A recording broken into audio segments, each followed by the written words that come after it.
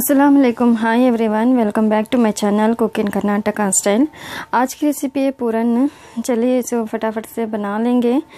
थोड़ा लंबी रेसिपी है स्किप मत करिए, पूरा एंड तक वीडियो देखिए। मैं एक कप ऑफ़ तोर दाल लिया है, वही कप ऑफ़ यानी कि वो एक और आधा one and half cup of मैं चना दाल यूज़ कर रही हूँ। आप दो भी मिक्स करेंगे तो टेस्ट अलग रहेगा। आप चाहे तो एक भी यूज़ कर सकते हैं। उसके बाद मैं सूखा नारियल, यानी कि सूखा खोपरा लिया है। आप चाहे तो ज़्यादा कम कर सकते हैं। पाँच छः छः इलायची लिया है। उसके बाद आधी टीस्पून मैं सोम का दाना लिया है। मैं आधा के जी का दाल लिया है दोनों मिला के। आप उसी मेज़रमेंट पे आधा के जी का जॉगरी लेना है। मैं यानी कि गुड़ लेना है, वही आधा के जी का। टेस्ट बराबर यानी कि इक्वल रहता है। चलिए, जो मैं फ़र्स्ट चना दाल को प्रेशर कुकर में मैं अच्छे से दो विज़ल तक मैं कुक कर लूँगी। क्योंकि कुक करते वक्त बहुत ही ख्याल रखना पड़ता है एक कुक होती है एक नहीं होती है। आप इसी में गुड़ डालेंगे तो बहुत ही पीसते सम टाइम पे बहुत होता है, यानी कि प्रॉब्लम होता है। इसलिए मैं आपको ये टिप बता रही हूँ, आप वही फॉलो करें। देख लीजिए, मैं दो सीटी तक मैं चना दाल को कुक कर लिया है। ये मीडियम टेम्परेचर यानी कि कुक हो गई है मीडियम से। उतनी घट भी नहीं, उतनी फुल मेल्ट भी नहीं हुई है। चलिए, उसके बाद जो तोर दाल को मैं अच्छे से दो पानी से वॉश करने के बाद अब इसमें ऐड कर लूँगी। तोर दाल ऐड करने के बाद आप एक सीटी आ रही है टाइम पे आप फ्लेम को हाफ़ करना है। आप बहुत ही ख्याल रखना है दाल गलाते समय क्योंकि थोड़ा ये आप गल तो जाती है, लेकिन थोड़ा चलिए हमें दाल को मिक्स कर लेंगे, थोड़ा पानी डाल के।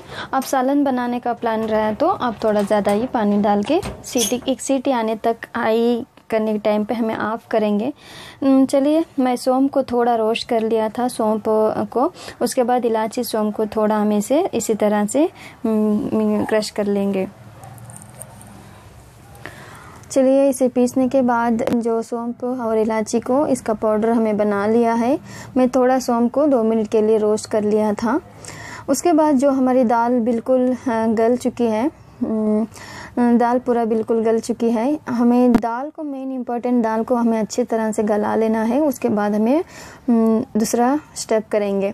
चलिए, इस वाटर को हमें निकाल लेंगे। हम ना वाटर की कोई ज़रूरत नहीं है इसमें। यानी कि हमें, जो आज पूरन बना रहे हैं, उसे इस तरह से पाँच मिनट तक हम इसमें छोड़ देंगे। थोड़ा पानी पूरा हमें पूरा ऑब्ज़र्व कर लेने की तो पूरा कुछ भी पानी में ड्राई हमें डाल लेना है। चलिए, हमें दाल को पूरा परफेक्ट गला लिया है। आपको मैं बार बार बोल रही हूँ, दाल पूरी अच्छी तरह से गलना है। आप वैसी तरह से आप जौगरी को डालेंगे तो बहुत प्रॉब्लम होगा। चलिए इसको पूरा हमें सोख लेने की छान लिया है। ये पानी को वेस्ट मत करिए, इसका मैं सालन का रेसिपी नेक्स्ट वीडियो में डालूँगी। उसके बाद वही कुकर में जो मैं दाल को गलाया था, वो दाल को मैं इसमें ऐड कर लिया है। उसके बाद जो मैं कोकोनट यानी कि सूखा नारियल को पीस लिया था, उसके बाद जो मैं सौंप और इलायची को कूट लिया था, वो भी इसमें मिक्स कर लेंगे। मैं नीचे ही पूरा मिक्स कर लूँगी। उसके बाद मैं आधा किलो जागरी को लिया है। उसको भी मैं इसमें डाल लूँगी।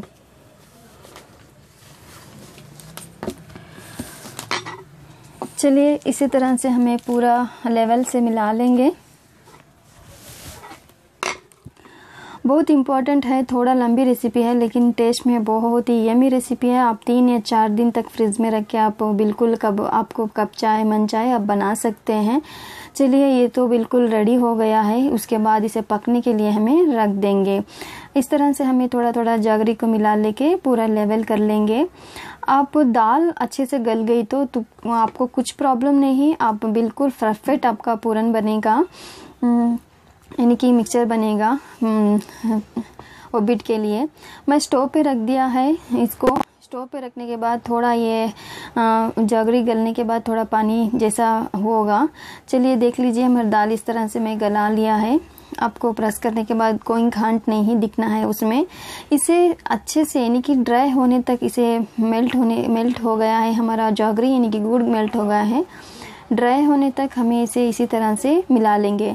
ये थोड़ा उछलता है, थोड़ा प्लेट आप मुछ लीजिए, यानी कि इसको ढक देंगे हमें। एक कौन सा तो भी प्लेट बहुत केयरफुल इसे आप करना है, क्योंकि ये थोड़ा ऊपर उड़ने का चांसेस रहता है बबल्स चलिए, ये तो थोड़ा हमें पाँच मिनट तक इसी तरह से पका लेंगे ड्राई होना है इसे।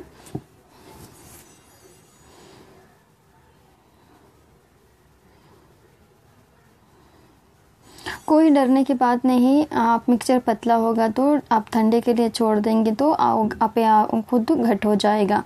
इसे हमें इसी तरह से पका लेंगे ड्राई होने तक। इसे मुझ के इसी तरह से ढक के पका लेंगे। देख लीजिए दोस्तों, इस तरह से हमारा मिक्सचर रेडी हो गया है। मैं फ्लेम को बंद कर दूँगी। एक बड़ा वाला प्लेट में मैं इसे निकाल लिया है। थोड़ी देर तक फ़ैन के ज़रिए से इसे मैं ड्राई कर लिया है।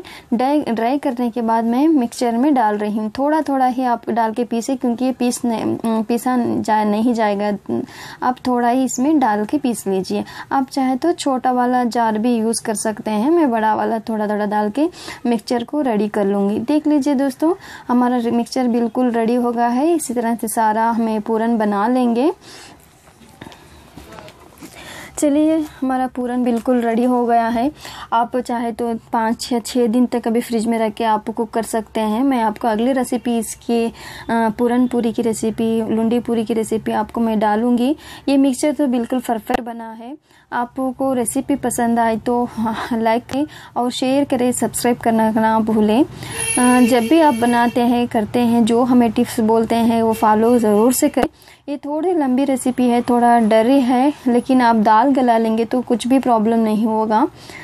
लाइक और शेयर सब्सक्राइब करें। अस्सलाम वालेकुम